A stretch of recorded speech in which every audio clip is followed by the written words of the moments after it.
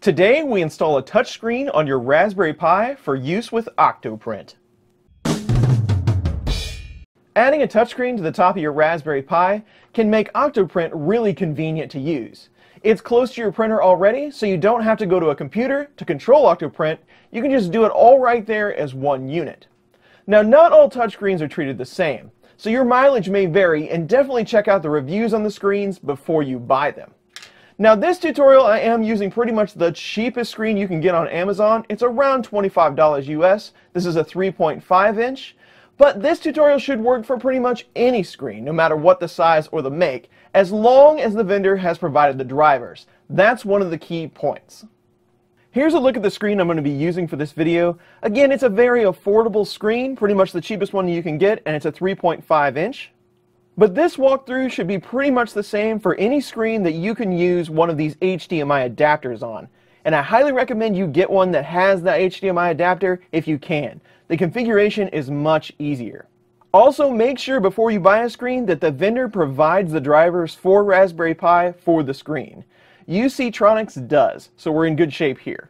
So now I'll walk you through the steps of how to get your screen set up on your Pi We'll jump into SSH, install the drivers for the screen, as well as Touch UI, which comes with a light desktop that allows you to use that screen. I do assume that you already have Octoprint up and running on your Raspberry Pi. If you don't know how to do that, you can check this video out up here, but mine is already working with my printer and my network. And as with any Raspberry Pi project, power is important. Make sure you have a 2.5 amp power supply or better to power your Pi and your screen, or your results are going to be very unpredictable. So let's start by putting this sandwich together. So here's what we're working with. We have a Raspberry Pi 3B Plus, a UCtronic screen that I showed you earlier that I grabbed off of Amazon. It's around $25 US. It's 3.5 inch. And an HDMI to HDMI adapter to allow us to connect up to the Pi from the screen output. It just connects from the screen to the Pi in a U shape. So the screen is just designed to be used as a hat. It sits right on top of the Raspberry Pi and you utilize the GPIO pins. The screen does come with some heat sinks for the chips on the board and or the screen if you'd like to use them. I don't intend to leave this configured, so I'm not going to use them on my project, but you might want to if you're experiencing issues on your setup. So this fits right on top of the GPIO pins. These go in the very corner towards the SD card, the 5 volt pins. So it sits on here just like this. You can see from the side that these four pins are on the very corner of the GPIO rail. It utilizes all four pins.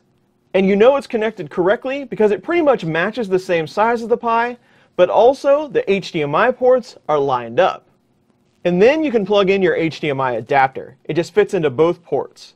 This is how the screen actually gets its video feed, just like so. Now we can go ahead and power up the Pi, and this will power up the screen. It's probably going to flicker a few times, but you won't have any output quite yet. If it's upside down on this screen, there's a button right here that you can flip it to whichever direction you'd like. You'll see the boot up here in command line. Eventually it'll come into a login screen, but that's all you'll get. You can use the console from here, but it's quite small and you probably don't want to. So we're going to open up Putty. And we're going to log into our Raspberry Pi with SSH. Now, if you only have one of these on your network, you can use octopi.local to connect to your Pi. You don't have to know the IP. I have more than one of these on the network right now, so I have to use the IP directly, but you probably won't have to. We'll log in. Default username is Pi. Password, Raspberry. Since we're already doing Raspberry Pi stuff with Octoprint, let's just walk through a couple of things while we're here. If you do a D space F dash H, that's going to show you the sizes of your file system and how much is being used. At one time, it was pretty useful to expand your file system using the raspi config. I don't know if that's any longer needed, but we can go ahead and give it a try. Maybe it's useful for others. If you do sudo raspi-config, this is going to take you into a menu to help you configure your Raspberry Pi. You do need your sudo password, which is also Raspberry. You can go down to Advanced Options. You can expand your file system with A1. It's going to resize the root partition using any extra space that might have been left over during the Octoprint install. Again, I don't think this is really useful anymore, but it comes in the directions with a lot of these screens, so I thought I'd go ahead and run through it for you. Just hit OK. You do have to reboot your Pi to get that change to take effect. We'll go ahead and hit Finish. It's going to ask you if you want to reboot. Let's go ahead and tell it yes. Let's go ahead and log back in. If you do a df space minus h again, you're going to see it changed a few things around. I'm not sure that it helped you out at all, but that's what they're talking about when you see this configuration, when you expand the micro SD card in some of these instructions. Next step, as with a lot of Linux installs, it's a good idea to go ahead and update and upgrade any packages that you have. So do sudo apt-get update. This is going to update all the repositories. And after that's complete, we can do a sudo apt-get upgrade. This is a list of all the new packages that will be installed. You can do a Y enter, or just hit enter as the default for yes. After the upgrades are complete, they take about 20 to 30 minutes depending on how many you have. It's a great time to reboot to pull in any changes. sudo reboot now. Let's go ahead and log back in. Now let's take a look at the directions that the vendor of the screen gave me to set up the drivers for the screen. This vendor gave me some documentation with a URL that I can copy and paste the commands for loading the driver software. Definitely check this out before you buy the screen. If they didn't give you some sort of page like this, it's probably a bad sign and you should stay away from that screen. Also, you might want to consider downloading this or making a copy of this website just in case it goes away in the future so you don't lose all the information for your screen. So we've already done our Raspberry config and we've done our update. Now we're going to use git to bring in the driver software using a clone command. So let's copy this whole line. Back to PuTTY and SSH, we'll paste this in, and it's going to download the driver software from GitHub. It threw an error because they put sudo on the git clone command. You should not have to use sudo for git, and I didn't remember that. So let's go ahead and just use git clone without sudo. So since we did that git clone in our home directory, let's go ahead and do an ls to view what it's in there. Now we have this UCtronics directory that we need to get into, so we'll cd into that. And we'll do another ls to see what's in there. These are all the install and driver files we'll need. We need to change the permissions on some of these using chmod. So we'll do sudo chmod 777 so everyone can access it. And we're going to do uctronics underscore HDMI underscore backup. We use the up arrow to bring that command back up. And we're going to change uctronics underscore HDMI install. And one more time, we'll do uctronics underscore HDMI underscore restore. If you do an ls again, all the items that are now in green, that tells you that that permission has been changed to 777. Now we're going to issue the uctronics backup utility to back up our current configuration. So we'll do sudo dot forward slash uctronics underscore HDMI backup. We'll hit enter. That'll run the backup script. And then after the backup's complete, we can go ahead and run the install. sudo dot forward slash uctronics underscore HDMI underscore install. And this will install the drivers from scratch. When that install is complete, it automatically reboots the Pi. If you check out the screen as it's coming up after that reboot, you'll see that everything has gotten a lot bigger, the resolution has changed on the screen. That means the drivers are working. So that gets the drivers installed and the screen up and running for the Raspberry Pi. It changed resolution over to the touchscreen, so we know it's going to work. Now there are a few other tools that came with my screen, like a calibration tool and an on-screen keyboard, but with the Touch UI software, we shouldn't need those things. So now we'll install the Touch UI part that lets us use Octoprint. So let's go ahead and open up our Octoprint instance from a browser. Again, you can use octopi.local. I have to use the IP number. And then we'll head into settings. Now is a great time to update Octoprint if you haven't already to the newest version, just to make sure everything is working as expected. You can go to software update and update it from here. Just hit check for updates now. I'm already the current version, so I should be good. Let's head into Plugin Manager. We're going to hit Get More. Then we're going to search for Touch UI. It's right here. Go ahead and hit Install. When the install is done, you can go ahead and hit Restart Now over here. And that's enough to get the Touch UI plugin installed. You can see it right up here. What it does by default is sense the size of your screen. So if you open a browser window and you go to your Octoprint instance on your phone, it will see that that phone screen is smaller and switch to the Touch UI, which is a lot blockier, simpler interface that you can use with a touch screen. And that's all fine and good if you're using a device that already has an OS and a browser already, but that's not going to work for a touchscreen. We don't have a desktop environment.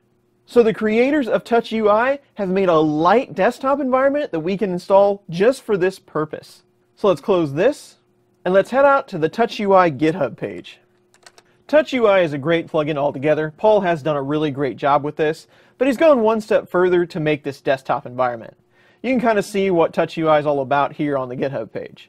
And down here under Setup, there's a Read More for touchscreens. And what we want to be able to do is boot to browser. So every time the Pi comes up on that touchscreen, it's going to open up that light version of browser so we can use the Touch UI plugin. So let's head to that page. And he couldn't have made this any easier. All you have to do is install the plugin like we just did. Make sure your screen drivers are working. We've already done that. And then download from Git this Touch UI Auto Start package. So we'll just copy this command, head back to SSH, and we'll paste it in. No need to change directories even because it's going to put it in the home directory under TouchUI-AutoStart. And the download from GitHub's complete. We can go back to the GitHub page all we have to do is run the install script. Copy this command right here, and we'll paste it in SSH. Now this does take a little while because it's installing a desktop basically, but once it's done, it'll come up with TouchUI on that touchscreen. During the install, it's going to ask you for a user that can auto log into Octoprint when your TouchUI boots up. You can do this if you'd like. If you'd like to try to use the touchscreen to log in your user ID, you can do that too but I'm going to let it auto log me in. So I'm just going to use my username, Chris, and hit OK. It wants to know if it can restart Octoprint. Yes, it can. And if the install looks like it's hung up at any time, I've had it stop on certain phases, you can usually just hit enter to get it to continue. The install is complete, and now the Touch UI screen is booting up. Now the first time through, the auto login might not work. That's configured in your config.yaml file. So let's change directory to home you can do that using the tilde. We'll change directory into .octoprint. And let's just take a look at the config YAML file, cat config.yaml. And the install did successfully add in the auto login local and auto login as. But I've had issues with this in the past that if you don't tell it what network you're logging in from, it won't allow you to do it. So let's go ahead and edit the config YAML file, sudo nano config.yaml. And underneath auto login as, We'll add a space, and we're going to add an entry for local networks. Local, capital N, networks. And then colon after that, and then underneath that line, we want to do a dash, then space, and in quotes, we're going to add the local host network. So 127.0.0.1 forward slash 8. And then we need a line underneath that where we put in a dash, space, and in quotes, we need to do colon colon 1 forward slash 128. Basically, this is telling it that it's okay to log in as Chris if you're coming from the local host, or the networks inside the Raspberry Pi, not from external. So this should fix the issue. We can go ahead and hit Control X, Y for yes, and then hit Enter to save. And let's go ahead and reboot one more time. sudo reboot now. And then we can check it out. You can see the flashing red over here. That's telling me that my printer isn't connected. That's because I don't have a printer connected. Now I am going to use the stylus to test this, but that's only because I'm roughly two inches away from the camera. Your finger should work just fine as well. But if you're not familiar with Touch UI, you can go to this tab up here. That's going to give you the temperatures. This tab is for your controls, and your webcam tab is right there. Your files are over here, down in here. And then all the rest of your settings are going to be over here in this area. It's all the same Octoprint stuff, just condensed. And there you go. If you print yourself a case for this, you're going to have a nice compact touchscreen environment you can use right next to your 3D printer to help you control it. Again, I like the HDMI connected screens better than the SPI ones. They both work kind of the same way, but I think the HDMI is a lot easier to configure. Also, before you buy a screen, Make sure you're okay with the size of that screen and it's not too small for your environment. Read the reviews on those screens, make sure other users are having good results, and 100% make sure that it has drivers available for Raspberry Pi. A big thanks to Paul for creating the Touch UI and all the work he's done, and of course Gina with Octoprint. It's a great tool and it makes 3D printing even better. I hope you liked this video or you found it helpful. If you did, please consider giving it a thumbs up or subscribe to my channel. If not, leave your thoughts in the comments below, and as always, thanks for watching.